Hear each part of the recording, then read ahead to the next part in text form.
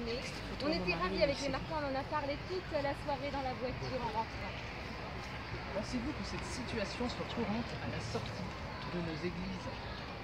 Certes, cela peut arriver, euh, mais ce n'est pas si fréquent que ça que deux générations se rencontrent pour partager un repas un dimanche. Nous avons tendance en effet à nous rapprocher des personnes qui nous ressemblent et cela est totalement naturel.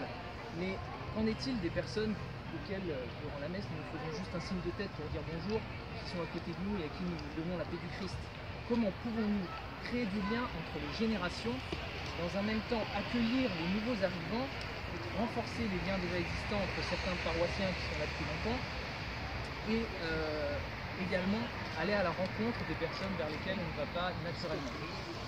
Il y a certains freins qui peuvent euh, venir par rapport au fait d'inviter chez soi et d'organiser des repas. Les familles, par exemple, l'a sondé euh, ce matin, et ce qui revient, les familles, c'est le manque de temps d'organisation, euh, de, soutien logistique pour organiser ça. Les personnes euh, peut-être plus âgées, tout seules, ça va être le fait de, se manifester, le fait d'oser se manifester, ou alors euh, la difficulté euh, à avoir l'énergie pour organiser euh, des repas. Et également, euh, peut-être plus dans les communes rurales, qui est une fois que les enfants sont partis, en fait c'est ce qui faisait les liens entre les paroissiens, une fois que les enfants sont partis, ben, comment retrouver ce lien fraternel entre les paroissiens? Donc pour répondre à ces besoins, nous vous proposons de mettre en place une plateforme Devine qui vient manger. Elle permet de faciliter l'organisation de rencontres autour d'un repas entre les paroissiens. Cela peut pourtant paraître simple d'inviter son entourage euh, à manger chez soi. Cependant, euh, pour les familles, il y a la question de la garde des enfants. Certains n'osent pas franchir le pas. D'autres se heurtent à des refus dans leurs invitations pour des causes d'indisponibilité et finissent par baisser les bras. Certaines personnes ne sont pas véhiculées.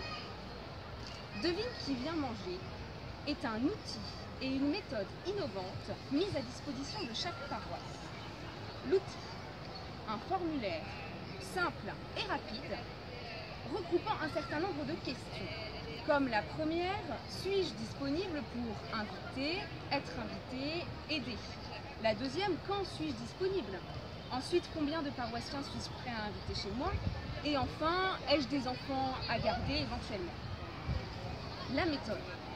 Mettre en, mettre en relation les personnes disponibles à la même date entre elles de façon plus ou moins aléatoire ainsi que celles qui sont volontaires pour l'organisation des repas, ou alors de la garde des enfants, ou du covoiturage. Alors, comment mettre en place Devine qui vient manger? Il faut tout d'abord un ou plusieurs paroissiens qui, à la fin de la messe, fassent une annonce pour euh, communiquer le projet aux autres paroissiens. Ou bien encore sur le site internet, site internet qui indiquera comment s'inscrire euh, via un formulaire, ou encore comment s'inscrire directement pour les personnes qui n'ont pas d'accès à internet. Euh, une fois toutes ces données récupérées, ils mettront en commun tous les, les bénévoles, enfin les, paroissiens qui sont prêts à accueillir, ceux qui seront accueillis et ceux qui sont prêts à, à aider.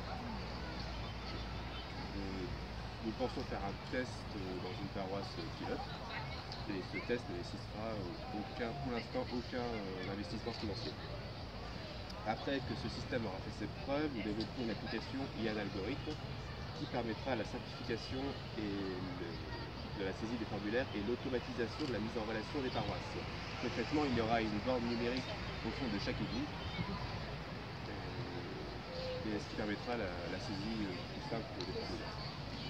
Nous estimons le coût total de cette opération à environ 5000 euros et nous pensons pouvoir réunir cette somme grâce euh, à l'aide du diocèse ou encore au, crowdfunding euh, dans les paroisses. Sachant que cette borne pourra servir à d'autres euh, besoins si le cas est. Oui, vous l'avez compris, Devine qui vient manger, c'est la solution qu'il faut dans votre paroisse pour redynamiser et renforcer les liens fraternels. Nous ne sommes pas une seule famille. La solution pourra être lancée dès septembre dans les paroisses, dans la paroisse publique.